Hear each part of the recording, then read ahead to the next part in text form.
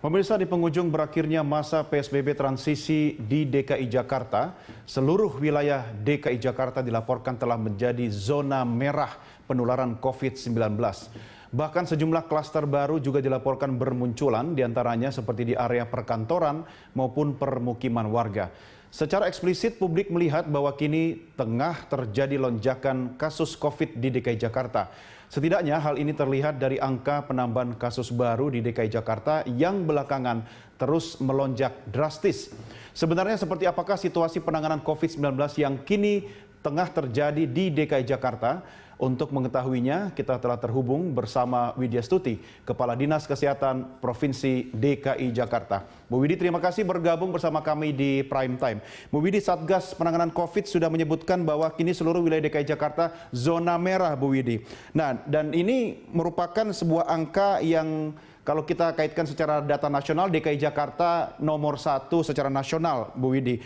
Bagaimana sikap Pemprov kemudian antisipasi ke depannya, Bu Widi?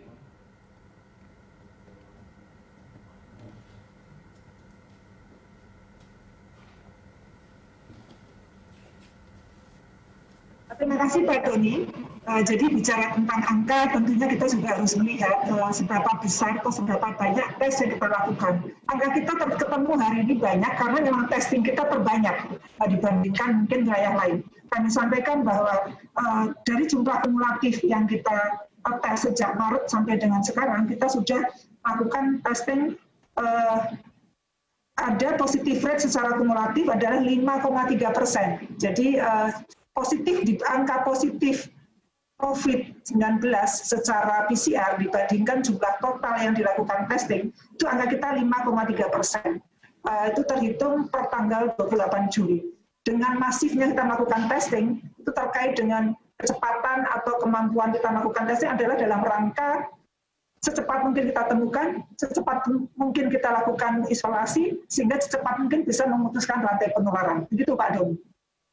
Artinya di satu sisi ketika angka penambahan COVID-19 DKI Jakarta ini meroket, di satu sisi sebenarnya kan ini merupakan status di mana kita sudah mengetahui siapa-siapa saja yang uh, terjangkiti COVID. Tetapi langkah selanjutnya Bu, yaitu bagaimana menangani orang-orang yang memang sudah terjangkit COVID-19 ini Bu?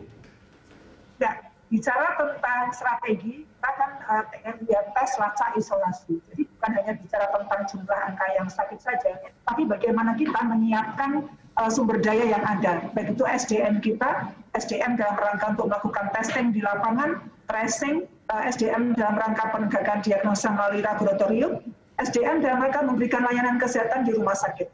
Juga tentang kapasitas layanan di rumah sakit. Kita siapkan uh, sejumlah tempat tidur yang mampu untuk bisa mengakomodir apabila warga DKI membutuhkan. Kita berharap bahwa dengan cepat kita lakukan testing, kita bisa temukan secara dini, dan itu bisa dilokalisir dan memutuskan rantai penularan.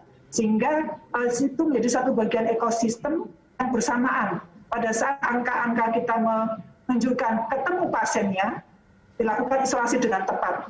Apabila membutuhkan rawat inap, kita siapkan tempat tidurnya. Apabila memang bisa dilakukan isolasi di rumah, tentunya kita harapkan bisa dilakukan mandiri di rumah masing-masing atau dilakukan di tempat-tempat yang sudah disiapkan oleh pemerintah, baik itu di Wisma Atlet maupun di tempat-tempat isolasi lain yang disediakan oleh Pemprov DKI Jakarta.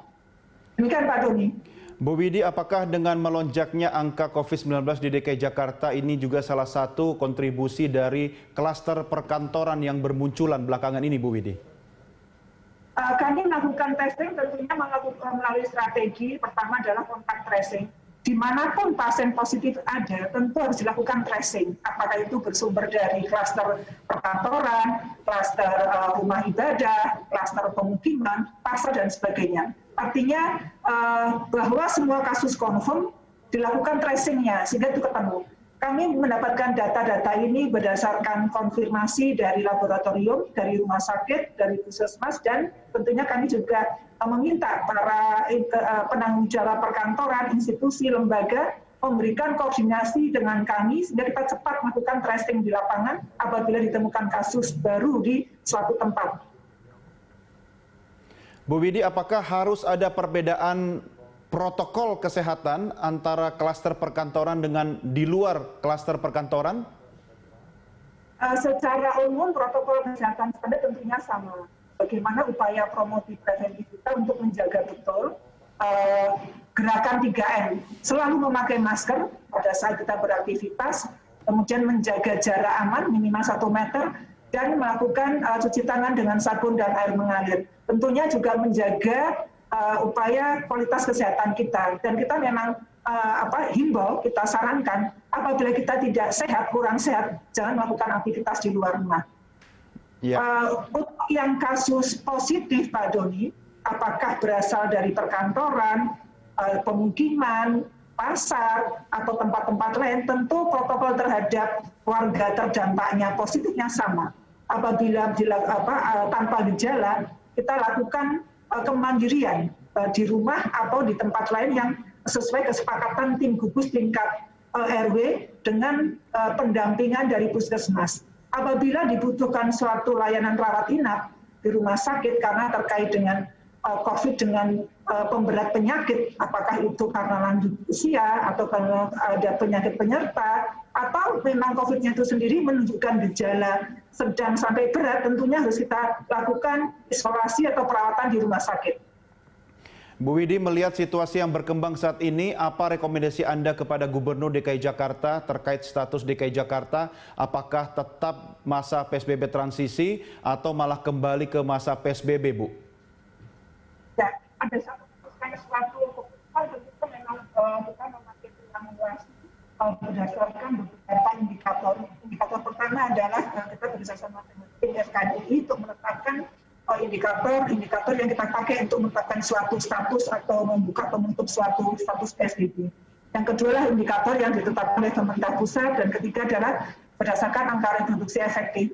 Tentu untuk keputusan suatu daerah apakah ini PSBB diperpanjang atau transisi itu adalah keputusan melalui tim gugus tugas tingkat provinsi yang melibatkan berbagai komponen dengan ketua Bapak Gubernur kami dari sisi dinas kesehatan tentunya dari aspek kesehatan saja, tentunya tidak hanya cukup dari aspek kesehatan, tapi juga masukan-masukan dari berbagai aspek, termasuk di bidang ekonomi, di bidang transportasi, dan sebagainya.